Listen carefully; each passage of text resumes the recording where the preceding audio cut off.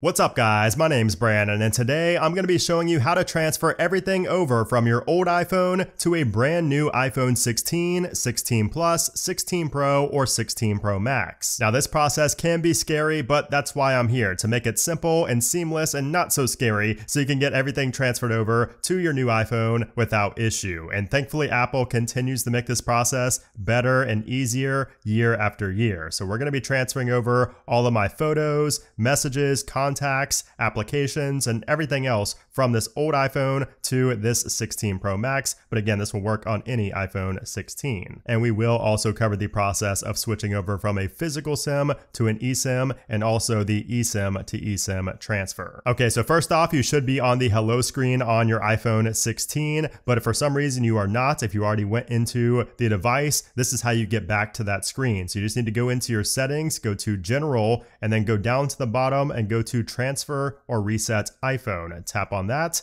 and then you want to go to erase all content in settings at the bottom, and then tap on that. And then from here, you just want to continue and erase everything from this iPhone. And again, this should be the iPhone 16, your new device, if you already went through this initial setup and you want to be able to transfer everything over from your old device. Okay, so now we're ready to begin. And the first thing you want to do is make sure that you're on the latest software version that your old iPhone supports. So go into your settings, general software updates, and make sure you are up to date. This will just speed up the process and could avoid any issues. Now, if you get a prompt to update your new iPhone at all throughout the setup process, you need to do that right away, not later, not after the transfer. Do that before the transfer begins. Okay, so the next thing you want to do is make an iCloud backup on your existing iPhone, your old iPhone. Now, this is not required, but it is recommended. So in the settings application, tap on your name up top, go into iCloud, and then go down to iCloud backup. And from here, you want to make sure that you press back up now, especially if you see that your last successful backup was more than a day old. Okay, so we have our backup done. Now we can go back to our home screen and we want to go ahead and unlock our iPhone 16. Now you should see a prompt on your old iPhone. But if you do not, you just need to lock the old iPhone and then unlock it, and you should see the prompt to set up new iPhone. And if it continues to not pop up, just keep trying to lock and unlock both devices. And if that still doesn't work, just try a reset, a reboot on your old iPhone. And that could also be an issue with software. So make sure you are on the latest software version. So we're going to unlock to continue, put in your passcode. So now we need to take our old iPhone and scan this orb with the old iPhone's camera. So very simple, just get it a little bit close right there and boom. So it says continue on your other phone and now on your other phone, your old phone, you will see who are you signing in to the iPhone. So it's either you or if you have a child set up, you can set it up for them as well. I'm just going to do for me. You will have to put in the passcode of the old device. So now it's going to activate the iPhone and you can see it already has our Wi-Fi connection now. It transferred that over from the old iPhone to the new iPhone. And the first prompt you'll see is for transferring over your phone number. So you definitely want to do this right now. You can set this up later in settings if you would like to, but usually just transferring over right away will avoid any issues. So we're going to tap on transfer and it says transfer your phone number. Once it's transferred, it will stop working on your other phone. So just keep that in mind. We're going to transfer number and you will have to confirm this on the old iPhone as well. So you will have to double click and authenticate to ensure that you want to transfer over that phone number. So we're going to do that. And by the way, if you have a physical SIM card, this is where you will be prompted to set it up and convert it into an eSIM. So once you convert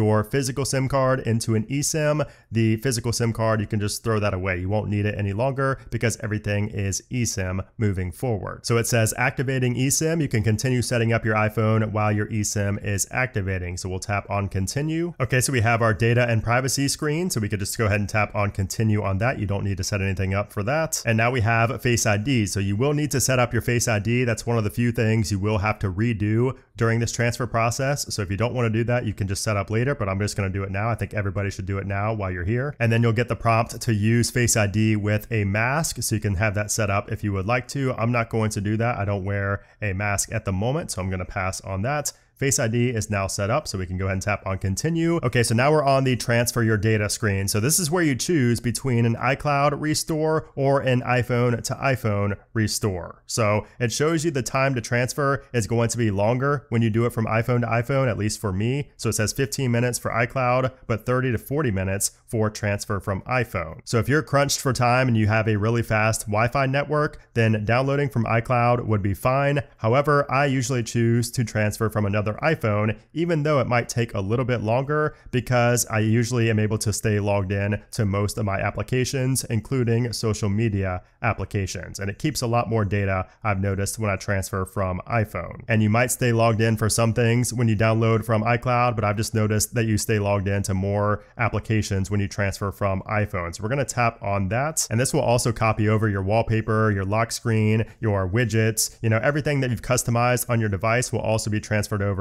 when you do the device to device transfer. And that's also why I like it better than iCloud. So from here, it says make this your new iPhone. So you can customize what you want to switch over. So if you don't want everything switched over, you can customize that. So if you go into your settings, for example, it will show you exactly what is being transferred over. And then also for connections. So this is where you'll see your Apple Watch connections as well. So it will transfer over the Apple Watch pairings. And then if you go to customize right here, you have some additional options. So you get to change if you want to update your iPhone automatically. I'm going to just do download automatically. You have your iMessage and FaceTime. So if you don't want that set up, you can just tap on not now, but I'm going to continue because I do want that to be set up with the new device and same with location services and same with the Apple Watch. So I do want to use every Apple Watch that I was using with my old device, my 15 Pro Max main device. So we're going to continue and now screen time, you can have that set up if you would like to. And then analytics, you can share or do not share.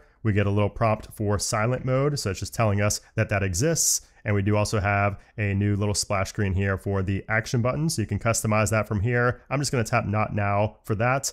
And then here we go, we have the demo for the camera control, which is a new iPhone 16 feature. Of course, you probably know that by now, so you can just continue on that. And now we have the Siri set up. So you wanna go ahead and tap on continue. And this is where you'll choose your voice, whichever one you like best. So I'll choose voice two, and I'm gonna skip all this say Siri, how's the weather and all that. So we're gonna, we're gonna skip that. So now we have improved Siri and dictation, so you can share your audio recordings. I'm going to opt out of that and say not now. And now you get the option to continue beta testing. So if you're on beta software, software, you will get this prompt, which I was on beta software here. So you will probably not see this if you are not running the beta. So you can either continue or not continue with the beta program. So if I tap on continue, it will likely make me install the updates. And then we have an emergency SOS little briefing here to tell us what's new with emergency SOS. And now you can see I do have a software update. So if you are on a beta, you will have the software update available right here. And I would recommend going ahead and doing that. Okay, so we are back from the software update. I had to get my device on the same version as my old device. So we're just going to continue at this section now. I did customize earlier, but we'll go ahead and continue. And you can see it shows us our location services. So we'll go ahead and turn that on now. And you'll get prompted to add in any of your cards that you had in Apple Wallet. So you could always add these later if you don't know your CVV code, which I do not. So I'll add this later. And it shows our Apple account balance has been added. And now if you are on 18.1, you will see the Apple Intelligence splash screen right here. We'll go ahead and tap on continue. Okay, so now we're on the transferring data screen. So this is going to show you how much time it will potentially take to transfer over all of the data. Now, after doing this so many times for so many years, years, I can tell you that this is an overestimate. So they estimate for a longer period of time than it typically takes. So I would not expect to trust the time remaining to be the exact amount of time it will take to transfer all your data over. Usually it takes less. Now, of course, this does depend on how much, you know, data you are transferring over. So if you're not transferring over as much data as me, yours might be 15 minutes, but mine right now it says two hours. I would not expect that. So it's currently 132. We'll see how long it takes. And by the way, while your data is transferring, I would recommend going to watch my first things to do on the iPhone 16 video so you can learn about everything new that your device is capable of. It's a great video. I think you'll learn a lot from it. And if you already watched that, check out my iOS 18 first settings to change video. I think you might find that useful as well. And there we go, transfer complete. So it took about an hour and 10 minutes for me. But again, I had a lot of data that was being transferred over. So yours will most likely be less than that. But again, it was still less than the initial time it gave me of two hours. So again, it usually overshoots it. So let's go ahead and tap on continue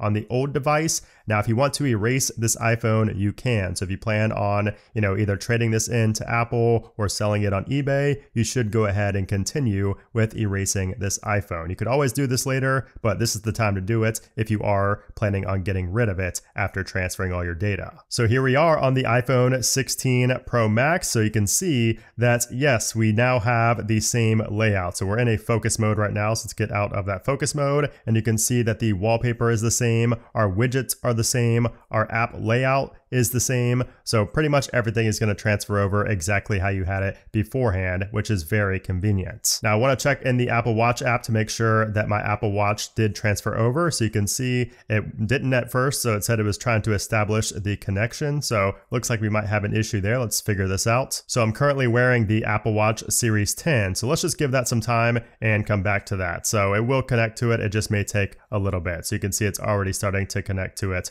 right there. So Cool, that's good. And all these applications you see on your home screen that say waiting, those are the applications that are currently downloading. So those will either go fast or slow depending on your internet connection. And you can see all of my photos are here. Everything is here from the old iPhone. So there we go. That is how you transfer all of your data over from an old iPhone to the new iPhone 16. So I hope this video was helpful. If it was, I would appreciate if you gave it a thumbs up. If you had any issues whatsoever, let me know in a comment down below and I will do my best to get back to you to try to help you out. So if you want to see more iPhone 16 tips and tricks and just coverage in general, be sure to subscribe to the channel. I have a lot of videos coming on the iPhone 16. But anyways, guys, thanks for watching and I'll see you soon.